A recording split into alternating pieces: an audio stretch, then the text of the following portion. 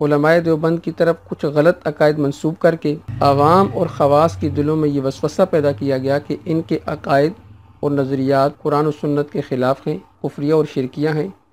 और ये फ़लाँ फ़लाँ इनकी इबारतें हैं और ये गुस्ताखाना हैं। तो जब ये सारी बातें उलमाए अरब के पास पहुँची तो उन्होंने 26 सवालत बनाकर उलमाए देवबंद की तरफ़ भेजे। जी, आप इन 26 बातों की वजात करते हैं। अलामा खलील अहमद साहब सहारनपुरी रहमल्ला उन्होंने इन 26 सवालत के जवाब दिए और कहा, जी, हमारे ये अकायद और ये नज़रियात हैं और हमारी तरफ़ जो इफ्तरा की, झूठ की नस्बत की गई है, उससे हमारा किसी किस्म का कोई ताल्लुक नहीं है। और ये जो इबारतें पेश की गई हैं, इनकी मुराद को जो मसक किया गया है इससे भी हमारा किसी किस्म का कोई सरोकार नहीं है।